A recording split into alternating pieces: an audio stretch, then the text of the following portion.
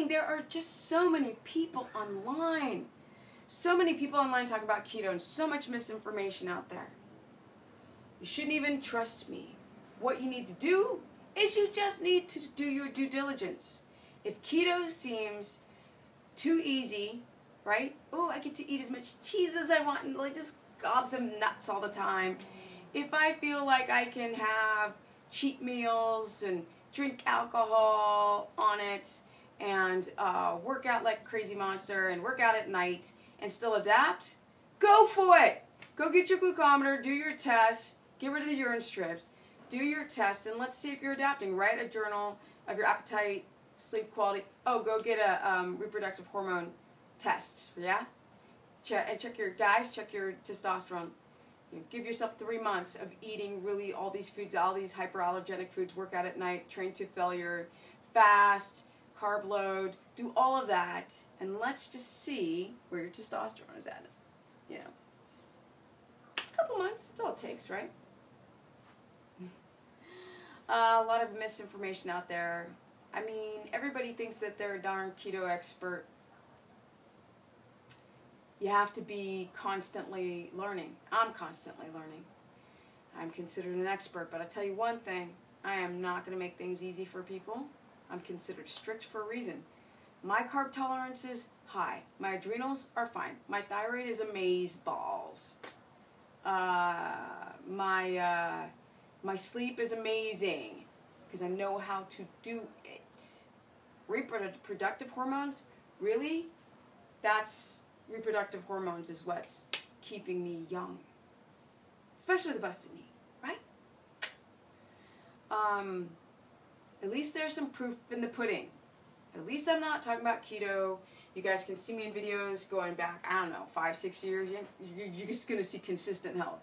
I'm not vascular, as you can see. I'm not full of veins. Skin is still soft. There's fat and uh, subcutaneous fats. It's fabulous. Love it. Right? I'm not like super all uh, granny apple in the face because I refuse, refuse to do all those things and allow toxins and refeeding and all this kind of stuff to enter this clean machine. I could though. I could have bread. I don't have celiac disease or celiac sprue. I don't have that. I don't have a.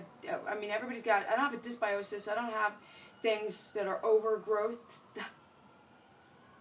You have to look at all of these things, guys. Thyroid, good. And we got sirens because you know that's my brand. We're all in an emergency state. We need to be woken up. The point is, guys, do your due diligence. Take people like me and anyone else that you would follow online and research. If it doesn't make, don't try to make data fit where you want it to. Remember, a lot of these doctors, it's subjective uh, anal- analysis.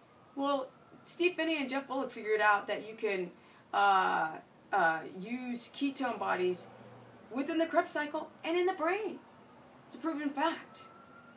But they used a lot of endurance athletes I mean, we're talking about people who got who have metabolic damage. Most of you guys have some kind of metabolic damage. Most of you, and, and it mass, manifests in all kind of ways. Sore all the time post workout.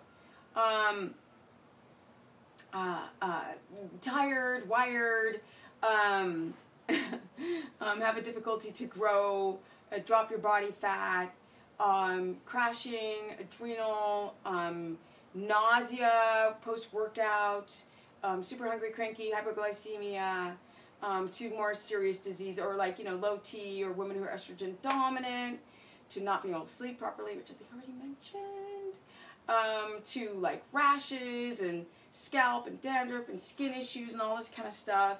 It manifests to constipation, to, to serious things like PCOS, insulin resistance, diabetes, heart disease, um, uh, rheumatoid arthritis, uh, osteoarthritis, to um, there's a lot I know. There's to depression, mood disorder, um, poor impulse control, to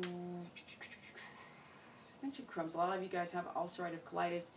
To PCOS, no, I said PCOS. To IBS, to um, uh, uh, uh, uh, uh, uh, there's a lot of things. Just just fucking a lot. A lot of stuff that we're all going through. Um, histamine intolerance. A lot of you guys have digestive issues, leaky gut. Um, I mean, the list goes on and on and on. Teeth issues. People's teeth are falling apart. Their gums are, they're like, you know, at the oral surgeon. Like, there's all these menstrual cycle issues. The list goes on and on and on and on. So, when you go online trying to do a ketogenic protocol, you want to make sure that if people are telling you what you want to hear, they're probably full of shite. I'm telling people what they don't want to hear so they can go, what? We can't say ah, that. People are like so hard, like pissed at the stuff I say. Most of the stuff I say avoid, like, you know, allergenic foods like cheese and nuts, I can have, but I don't. I get my data from you guys, from you. That's it. Person after person after person, consultation after consultation after consultation after consult, over and over and over and over and over again, and you start to see all of society, not just endurance athletes. You get all ranges, all religious backgrounds, people who don't eat pork, to people who do Ramadan, to whomever. You get it? I get it. People who are vegan, vegetarian, you name it, I get it and um, with, especially with the histamine intolerance, you really learn. People who got cancer, it's gnarly. Autoimmune disorders, epilepsy, multiple sclerosis, lupus, like you name it, I get it. Leukemia, nonstop, all day. Boom, boom, boom, boom, boom. Kidney disorders, all day. So with that said, I want you guys to do more research. Every time I ask people, um, I had I had another client this morning. She, was like, I just do.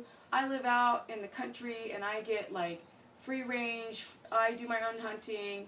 Everything I eat is organic, free range, healthy animals. I'm getting the best quality, omega three, blah blah blah blah blah.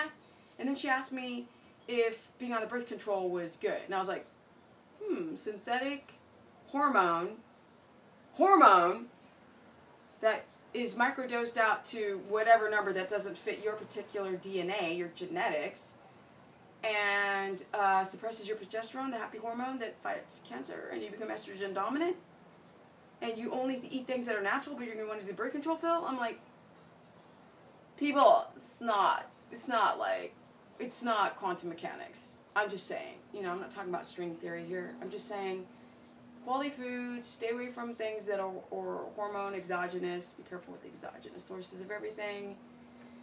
Learn as much as possible how the body works. That's just all I did. I went and read a lot about the body and then I actually started talking to people. I was like, get out of town! This connects with this, connects with this person, connects with this issue, connects with this issue, with the caffeine, the adrenal insufficiencies, right? And the hypoglycemia, the crashing, the waking up in the middle of the night, the peeing all the time, men with the prostate, I mean, the list goes on. This is the mother second business. This is eight years, guys. Eight years. Eight years on this biatch. Eight years. Everything has gotten better. When people ask for before and after pictures, my body just gets better. Younger. I can just relax, you know? I can just enjoy life. I don't have to be consumed about the, the, the, the outer body. I just have to do work on the inner self. That's all I need to do now, right?